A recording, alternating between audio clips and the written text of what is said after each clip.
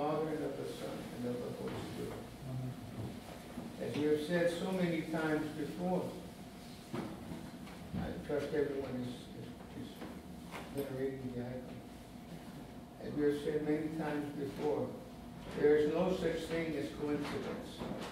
That is an accidental, somehow accidental uh, confluence of anything in the church, but rather that everything, everything that occurs that is foreseen in the typicon of the church, all of these things, for there are 24 different possibilities of confluence of the feast of the, the Annunciation in the typicon of the Orthodox Church.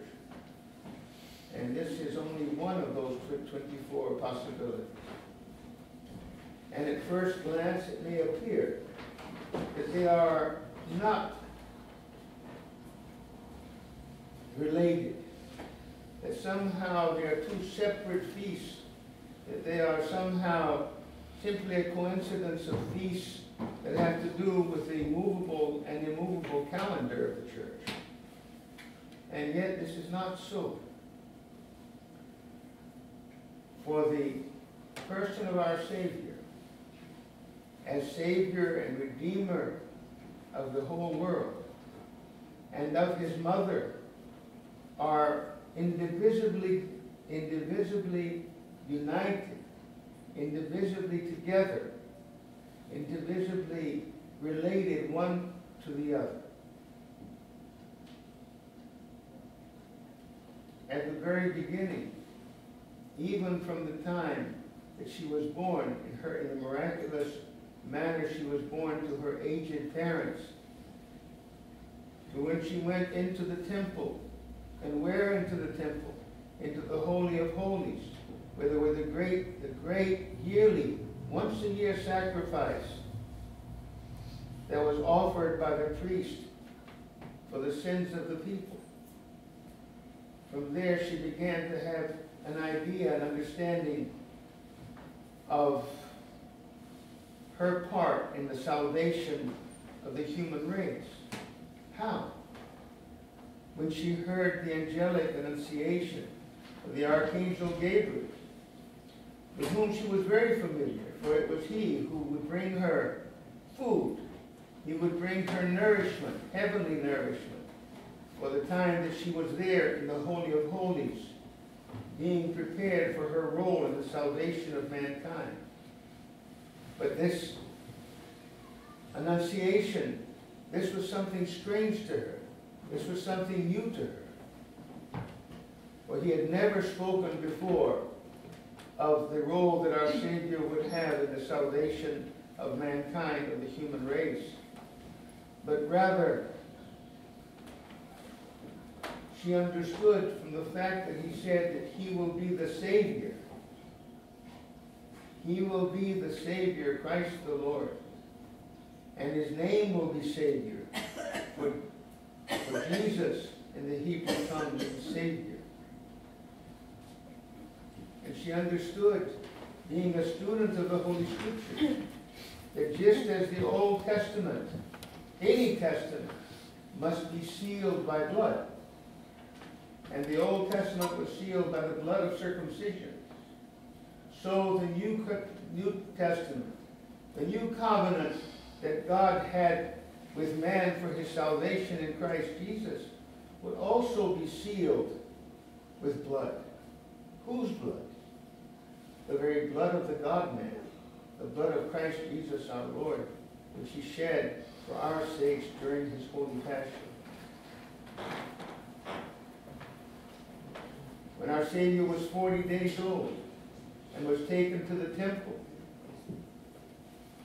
and there in the temple was greeted joyfully by Saint Simeon the God Receiver. Simeon the God Receiver, who had been one of the translators of the 70, of the Septuagint translation into Greek of the Old Testament from Hebrew.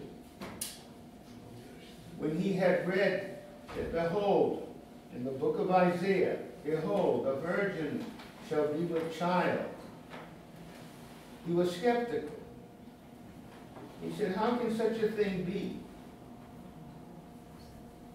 And his skepticism, because our Lord wanted him to live and not have this skeptical thought, not only allowed him to live to a great old age, maybe 200 years.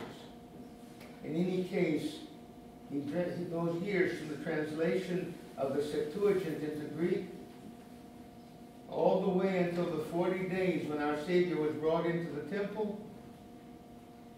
And he said with such joy, Now lettest thy servant depart in peace. For mine eyes have seen the salvation which thou hast prepared before the face of all people, a light for the generation of the Gentiles, and the glory of thy people Israel. After he had finished this doxology and this prayer to release him from the promise and the goodness of God who had allowed him to live to see the Savior. Then he turned to the Holy Mother of God and said to the Theotokos, and you, a, pierce, a, a sword shall pierce your heart, giving her a little bit of understanding that she would be co-sufferer with our Savior Christ in the matter of our salvation. That she would know sadness, and she would know pain, and she would know the, the worst of pains that a mother can have of seeing her child treated as our Lord was. And indeed, besides our Savior himself, who felt more keenly the betrayal, the trial, the beatings, every single strap of which she felt also, the spittings, the insults, the thorns of that crown that was given to our Savior was smashed onto his head with such vehemence and evilness by the soldiers. Who else was it who bore the cross? Who else was it who bore the cross? Along with her son, she followed him with the faithful women and the holy apostle St. John to the place of his martyric death. Who else was it who stood by the cross and breathed those terrible breaths that our Savior tried to breathe as he was hanging upon the cross. For it is to asphyxiation that the victims of the whole of a crucifixion die. Who else was it who bore the bringing down of her son and his burial? And who rejoiced more at his holy resurrection after three days in the tomb?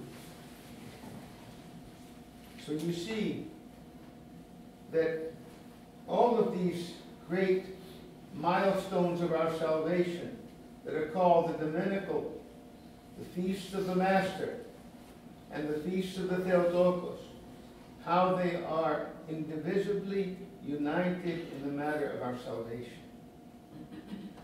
It is for this reason that we have such respect, we have such exalted abasement before her.